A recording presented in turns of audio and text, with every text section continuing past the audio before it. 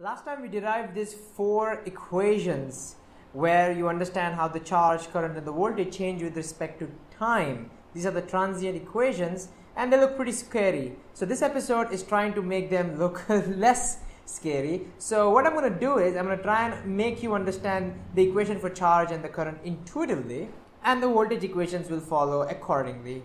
So let's concentrate on the charge and the current. Okay, the goal is to try and make this equation less scary. So what we'll do is we'll substitute different different values of t and see what happens. Let's first substitute t equal to 0 and see what happens. That will be case number 1.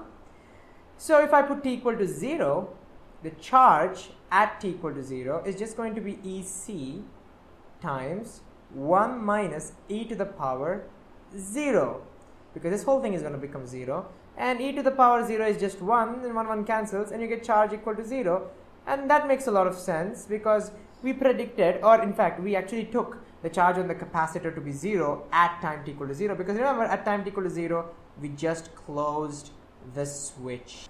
So that's fine. Let's consider another case of time. Let's put time t is equal to let's say infinity and see what's going to happen. Well this time charge q is going to be ec times 1 minus e to the power minus infinity.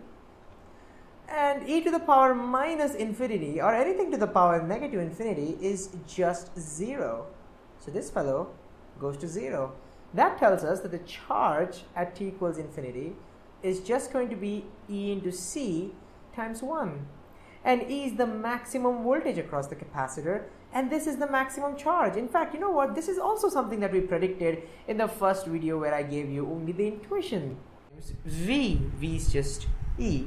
Ooh, this tells us this is going to be the maximum charge on the capacitor.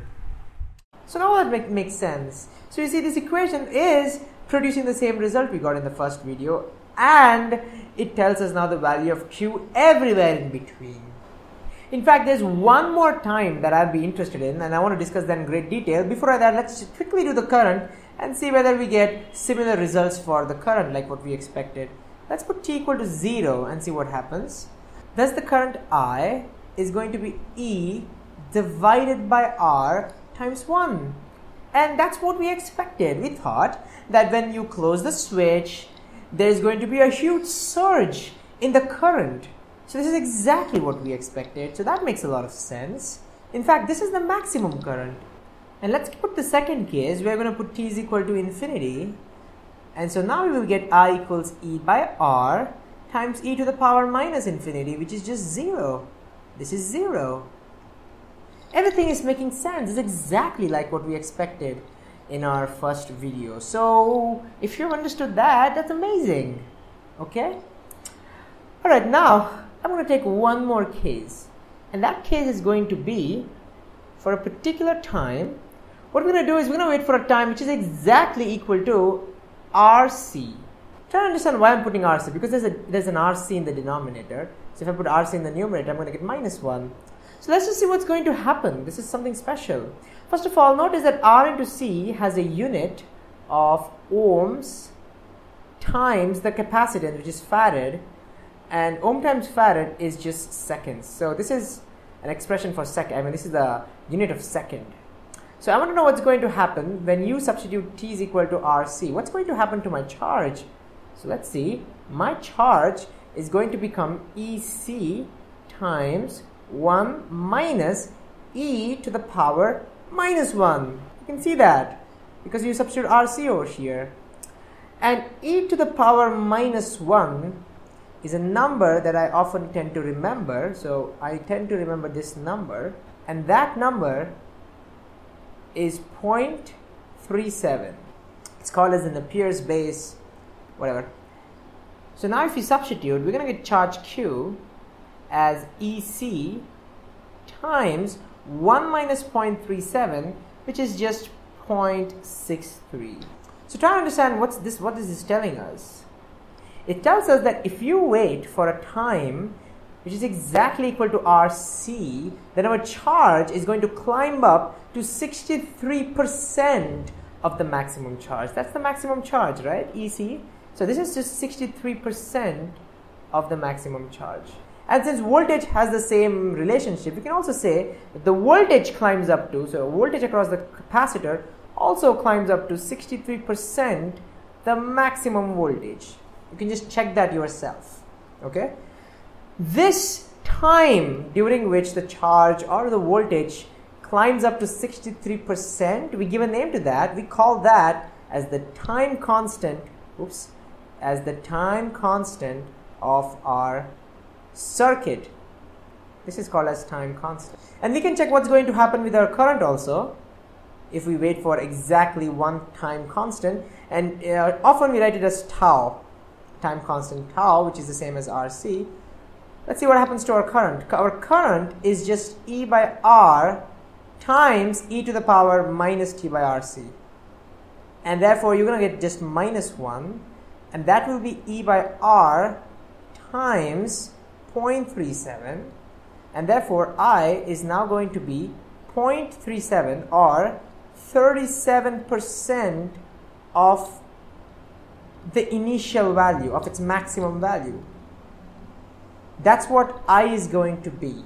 So you can think of time constant as the time it takes for our charge or the or the voltage to climb to 63% or for the current or the voltage across the resistor that's also fine to climb down to 37 37% of their initial value and that's what we call as time constants so you know why this is important because you see if you look at this equation theoretically it predicts that it's going to take infinite time for my current to become zero or my or for my capacitor to get fully charged. But that's just theoretical. More practically when you look at it we really don't want our capacitor to get 100% charge maybe 99% charge or 99.9% charge must be enough.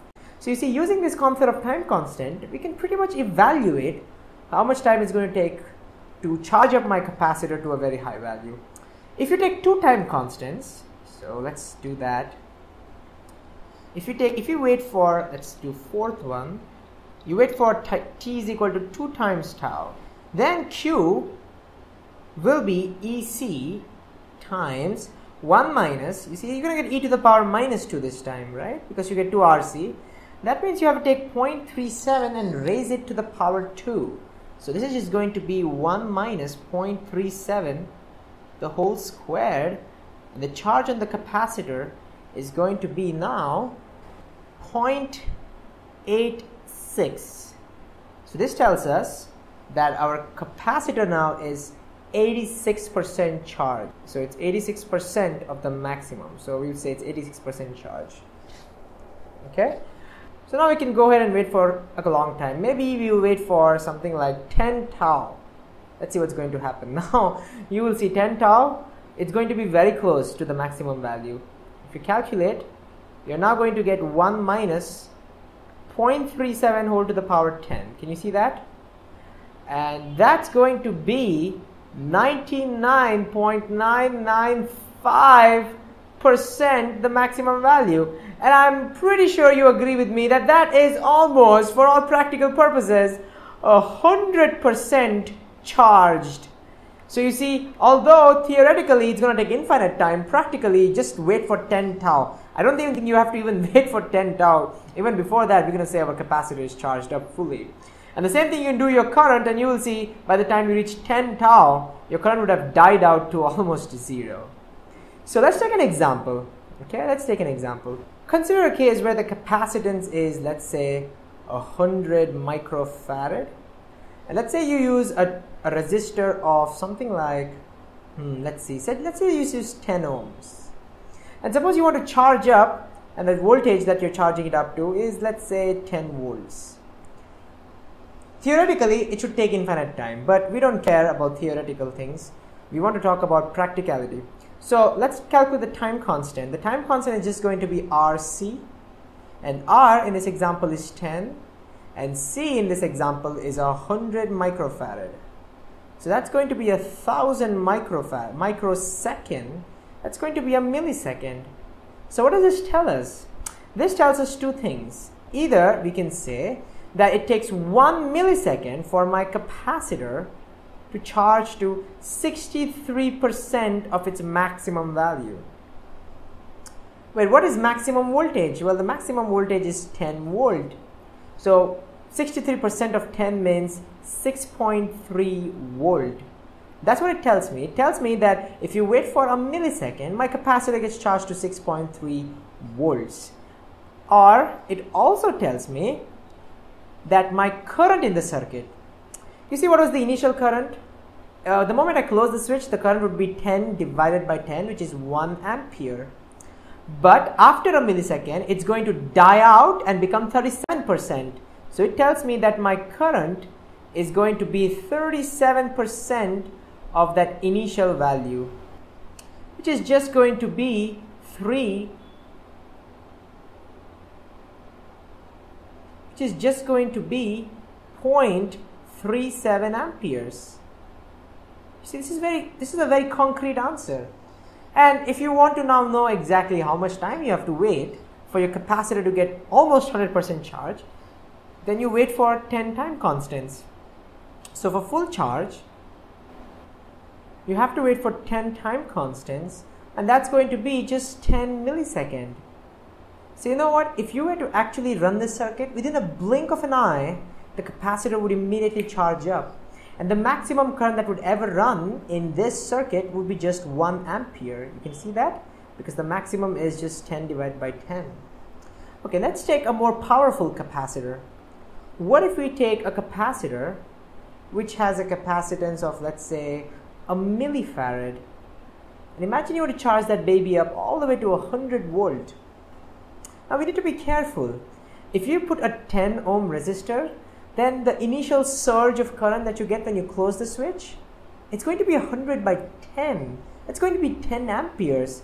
You need your circuit to handle 10 amperes because the, uh, the wires are going to get heated up and if you can't do that, you better make sure you have a high enough resistance so that you know you don't have such a huge current flowing through. So usually as the voltage goes, goes up, you tend to increase the resistance as well. Let's say you put a thousand ohms.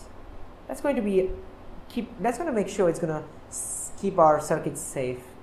So what's going to be the time constant over here? For the time constant for this circuit, it's going to be again RC. Well, that will be just 1 millifarad times 1000. That's going to be about 1 second because a million and a thousand just cancels out. So again, even notice, even now, it's pretty small. So it tells you within one second, my capacitor will have a voltage of 63% the maximum value. That's 63 volts okay? Or you can equivalently calculate the charge and 63% charge. And at that moment our current would be 37% of the maximum value. Uh, that's literally 0.037 if I'm not wrong because 0.01 is the initial. So that's how you work with capacitors. And, and, and this and, and this one if you really want to take this thing to get completely charged you have to wait for about for full charge you have to wait for about 10 seconds so I hope I was able to give you some intuition behind those deadly equations and uh, yeah, see you next time.